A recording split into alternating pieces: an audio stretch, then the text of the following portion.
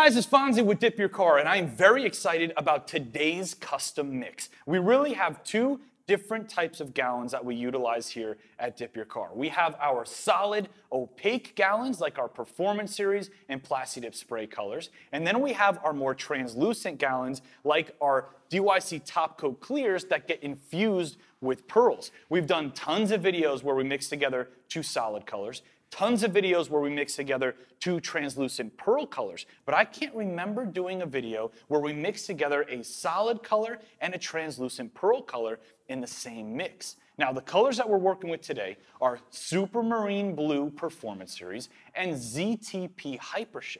Now, you may ask, What's the difference between using these two gallons together versus just throwing the ZTP Hypershift powder directly into the Supermarine Blue gallon? Well, the, here's the difference and where it gets interesting. The ZTP suspended in a gallon of clear top coat getting mixed into the Supermarine is gonna cut that pigment load in the Supermarine way down, which means it's gonna be way more translucent and allow for the ZTP to play a much bigger role. Not to mention, the Glossy Dip Pearl Top Coat is going to add a lot of sheen to this entire mix, giving the whole thing a satin finish where you would normally get a matte finish if you just put the powder in. How is this gonna turn out? One way to find out, let's jump right in.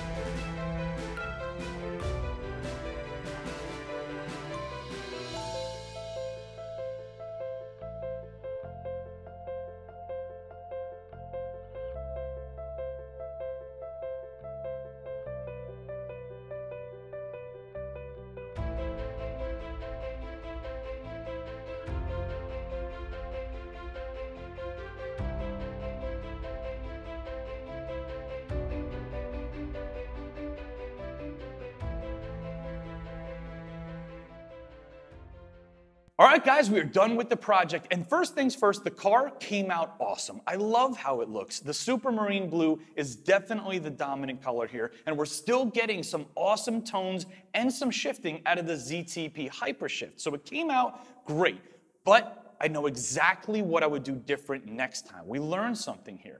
We mixed a translucent pearl gallon with a solid opaque gallon. But the solid opaque gallon that we picked was a performance series gallon. And those performance series gallons have a ton of metallics in them. So the metallics in the Supermarine Blue I think we were too much for the ZTP to show through as much as I was hoping it would.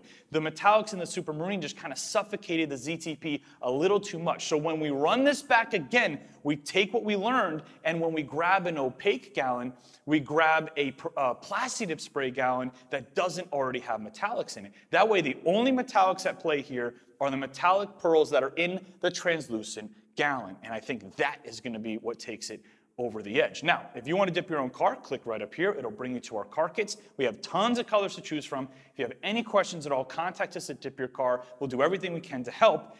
Thank you for watching, but most of all, thank you for subscribing because look, we are on the final road to a million subscribers. So if you're watching and you enjoy our videos, please take a couple seconds and subscribe to our channel. It would really mean a lot to me. Let's go outside, check out the car. It's Fonzie. I will see you guys on the next video.